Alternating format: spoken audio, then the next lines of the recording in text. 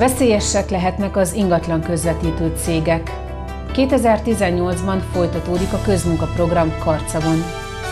Madáretetés a Táncsics úti oviban.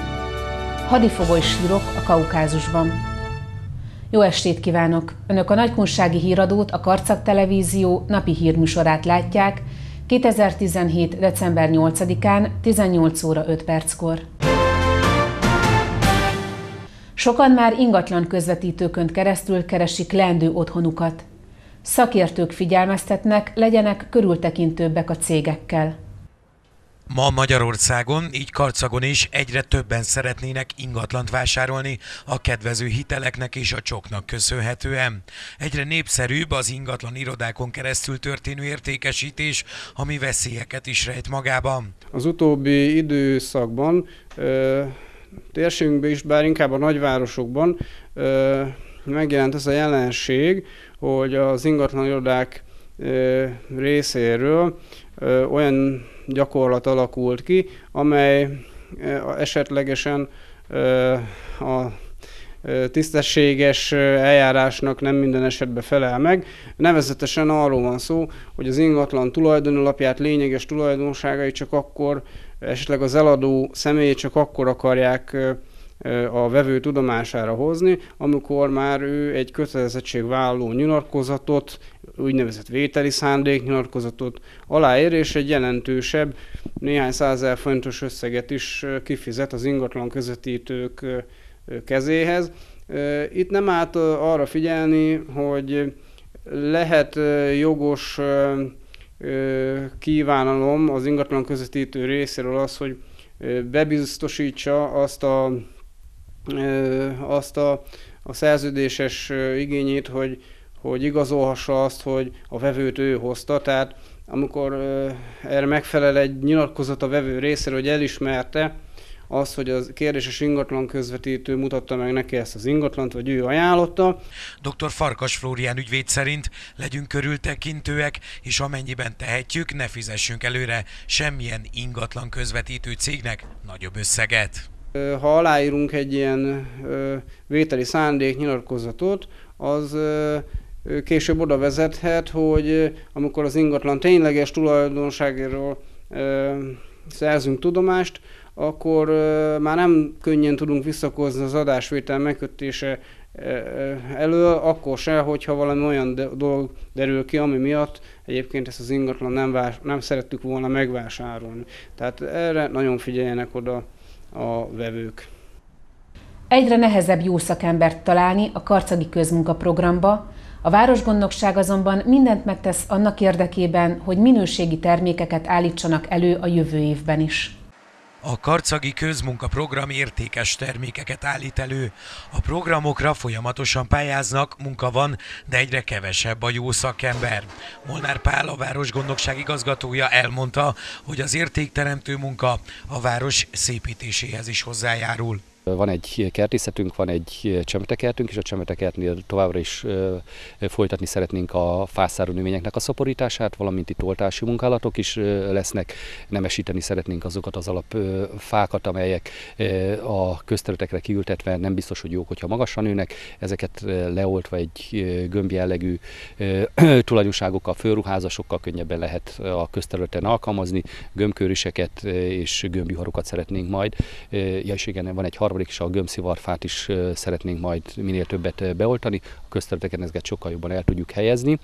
A kertészetbe természetesen a program összeállításánál figyelembe veszük azt, hogy a közétkeztet is milyen zöldséget, gyümölcsöt használ fel. Nyilván a gyümölcs az adott, a gyümölcsfák cseresznye, kajszibarack, őszibarack és szilva szokott lenni.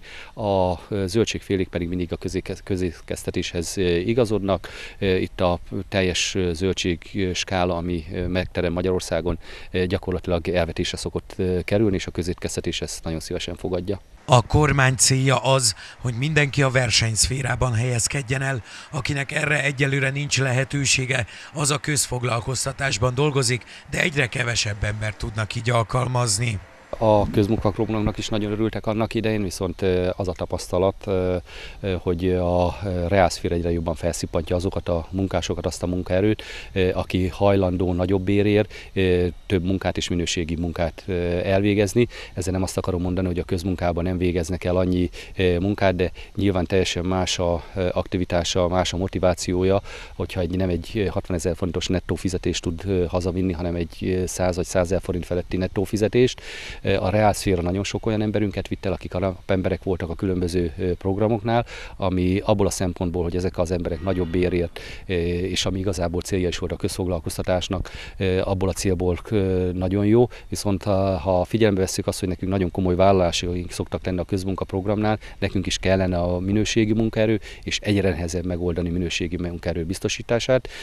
Nagyon nagy létszámmal alkalmazunk hölgyeket, mert az a tapasztalat, hogy a hölgyek nehezebben mozdulnak abba az irányba, hogy elmenek esetleg más településre dolgozni, fővárosba, Dunántúra, esetleg külföldre, míg a férfi munkavállalók erre jobban hajlandóak.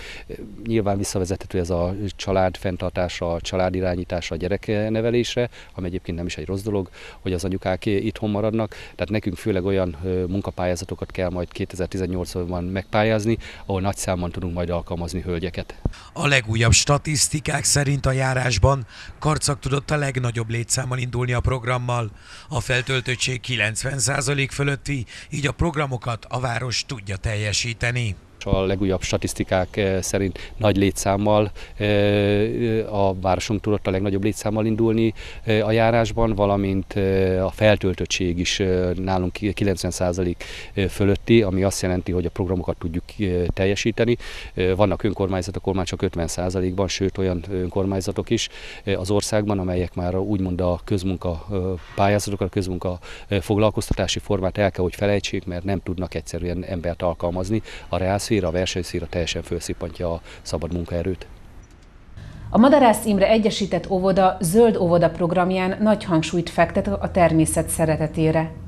A Táncsics úti óvodában a tél közelettével a gyerekek etetik és gondozzák a madarakat a tavalyi évtől a Madarász Imre Egyesített Óvoda, mind a kilenc tagintézménye zöld óvoda. A hangsúly a zöld nevelésen van, a környezettudatos életmódot játékosan sajátítják el a gyerekek. Az intézményünkben 2005 óta kiemelt hangsúlyt fektetünk a környezeti nevelésre, ezen belül a zöld óvoda kritérium szerinti működésre. Ez több dolgot is foglal magában, nem csak a, a természet szeretetét, hanem a fenntarthatóságra nevelést is magába foglalja. Olyan tevékenységeket szervezünk a gyermekeknek, amely által a természetet megszeretik, felkeltjük az érdeklődésüket a környezetvédelem iránt, a hulladék újrahasznosítás, az állatok védelme, a szeretete, a földnapjához kapcsolódóan ismerkedünk a különböző élőlényekkel, és hogy mennyire fontos a környezetünket védni és óvni. A madarak etetését minden évben várják a gyerekek. A pedagógusok segítségével megszeretik az állatokat, és közel kerülnek a természethez. A madarak a környezetünkben élnek, ez a madáretetés csak egy része volt a programunknak. A óvodában a madárvédelem, a madarakkal való foglalkozás, a gondoskodás minden évszakban ad feladatot számunkra. Most éppen beszoktattuk a gyerekeket, és elkezdtük a madarak megfigyelését ezzel indítjuk a madárvédelmünket. Ugye a gyerekekkel megfigyeltük, láttuk, hogy egészen más madarakat látunk a, a környezetünkben, mint a nyár folyamán, hiszen elvonultak a, a nyári madaraink, és innestől kezdve fogjuk majd a madarakat etetni. Megjelentek az első fekete rigók az óvodánk udvarán, ez szokta számunkra jelezni, hogy az etetőket fel kell töltenünk, a gyerekek figyelik az ablakból, mi nagyon sok ismeretet nyújtunk a gyerekek számára, a megfigyelések során látják ezeket a madarakat, játékos tevékenységeken keresztül megismerik, hogy mi az, amivel etetnünk kell, és elhivatottak válnak a, a madáretetés iránt. A program célja, hogy a gyerekeken keresztül a családtagok figyelmét is felhívják a környezettudatos életmód fontosságára. Célunk, hogy a gyermekeken keresztül a szülők környezettudatos szemléletét is formáljuk.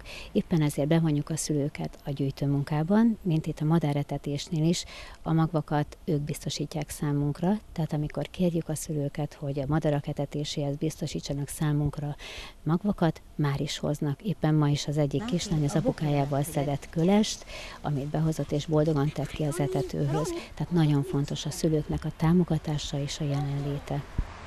Hadifogoly sírok a Kaukázusban címmel rendeztek előadást Karcagon az ifjúsági házban. Varga László kutató nyilatkozott a Karcag televíziónak. Hadifogoly sírokat kutatnak fel azok a szakemberek, akik a Kaukázus több lágerében végeztek kutatásokat magyar sírok után. Először is elkezdtük Balmazúj városnak a katonai veszteségeit feldolgozni, így az első világháborút, a második világháborút, aztán ez hozta magával a Szovjetunióba elhurcolt embereknek a kutatását, így a e, Málenki robotra elhurcolt Balmazújvárosi német lakosságnak az elhurcolásait, és e, ezeknek a kutatásoknak a keretében ugye rengeteg interjút készítettünk, rengeteg adatokat, meg fényképeket, iratokat tudtunk összegyűjteni a lakosságtól, és ez hozta magával azt, hogy a környékbeli településeinknek a vezetői, azok megbíztak minket azzal, hogy próbáljuk meg az ő településeiknek is a, a veszteséglistáikat feltárni. Munkájuk során kiderült, hogy az úgynevezett veszteséglisták majdnem minden településen hiányosak. Karcagon 82 név hiányzik a második világháborús emlékműről.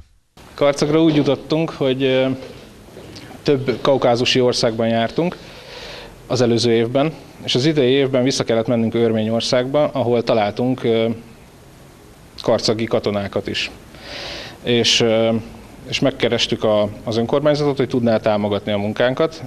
Így Karcagvárosa azt mondta, hogy igen.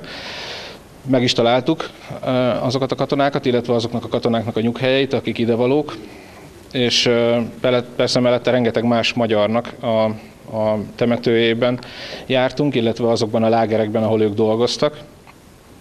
És utána, hogy ebben, ebben azt vállaltuk, hogy hogy oda megyünk és megpróbáljuk feltérképezni azokat a helyszíneket, ahol ezek az emberek szenvedtek. És utána már csak kíváncsiságból is megnéztük így Karcagnak a veszteséglistáját, hogy mert minden településen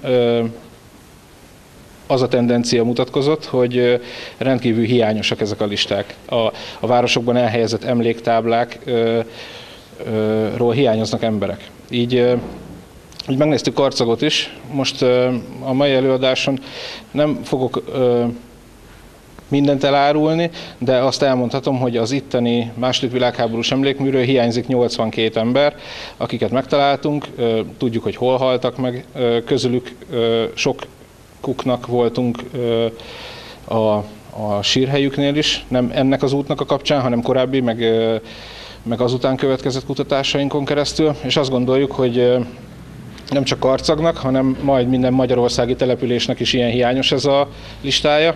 Hát ugye nem kaphattuk meg az adatokat a, a Szovjetuniótól, még Oroszországtól sem, csak nagy ritkán kapunk egy-egy listát, amikkel ki lehet egészíteni így a magyarországi települések veszteséglistáit. Így a mi törekvésünk az, hogy minél több községnek, falunak, városnak legyenek teljessé állítva, vagy legyenek teljesek azok a listái, hogy azok a nénik, bácsik, akiknek a szülei szovjetföldön nyugszanak, azok tudják meg, hogy egyáltalán hova kerültek az ő felmenőik. Kedves nézőink, napi hírműsorunkat a Nagykunsági híradót látták. Riportjainkat újra megnézhetik internetes felületünkön a www.karcagtv.hu weblapon. Viszontlátásra!